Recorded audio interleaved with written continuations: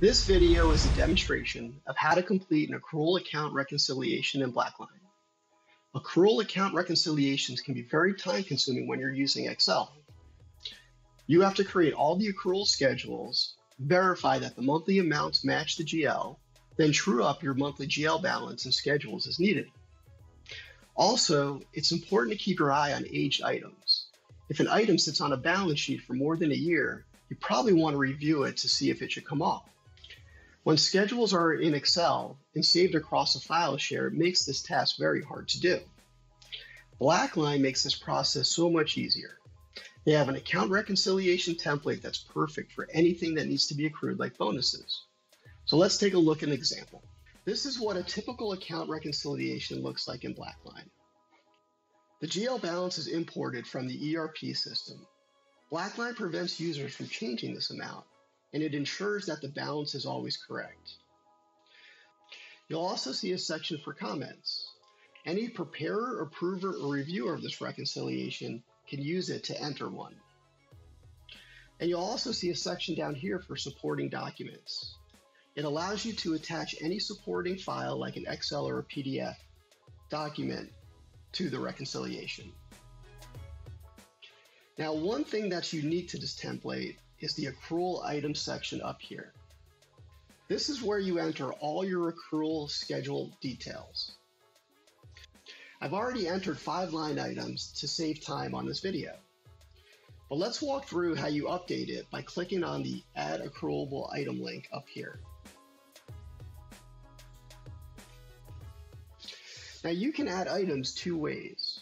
One way is to manually add items, the other is you could import a bunch of items from Excel. So let's take a look at the manual way first.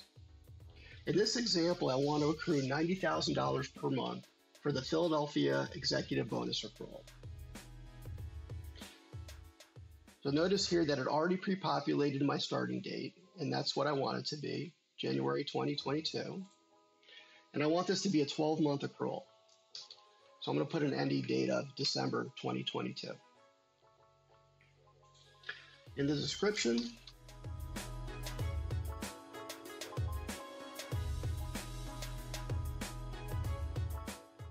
I'm going to put Philadelphia Executive Bonus Accrual. And then I'm going to come over here and click on the View Schedule. And this is where I would enter the amounts for each month.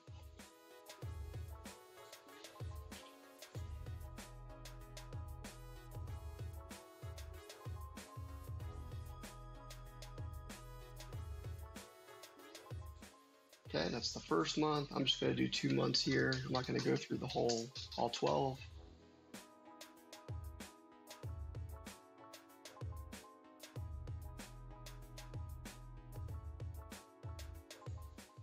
Okay. Come up here to click Save.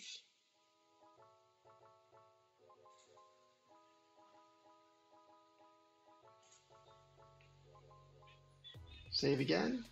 And now you see my line item up here. Okay. Now let's take a look at the other way of entering items through an Excel upload. So first I'm just going to delete what I just did. And then now I'm going to click on this link over here called import.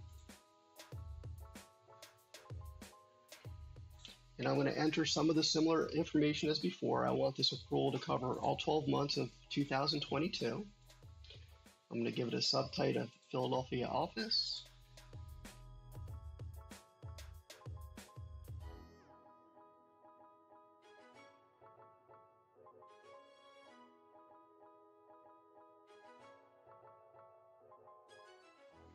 And now I'm going to come down here and there's this import file button. So I'm going to go and select my Excel file. Okay. And these, all these items here are what's on my spreadsheet. Okay. So I'm just going to click this button because I want to, I'm telling the system that I want to import all 12 items. I'm going to click import.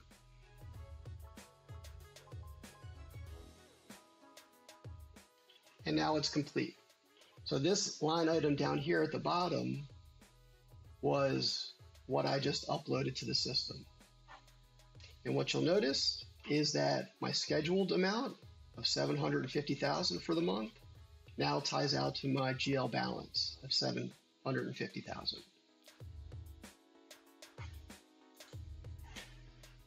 A couple of important things to note about the accrual item section.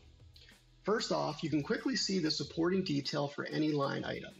Just click on this icon over here and you can see the item's full schedule.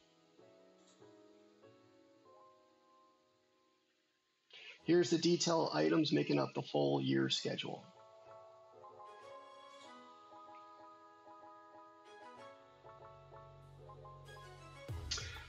Also, you have a couple of options to change the view of your accrual schedule.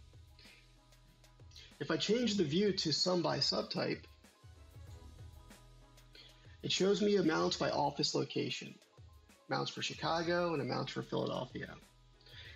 If I change it to sum by aging, it shows me the amount by aging bucket over here.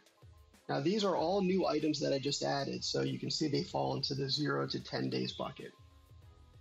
Now, this is an important feature because it provides visibility into the age of an accrued item. As you probably know, accrual items that have been sitting on the balance sheet for a long time should be reviewed.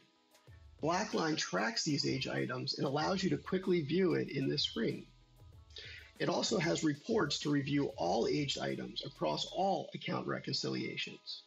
From my experience in accounting, that's really hard to do in an Excel world. And that's how simple it is to complete an accrued expenses account reconciliation. All your accrual schedules and supporting Excel and PDF docs are stored in one central repository.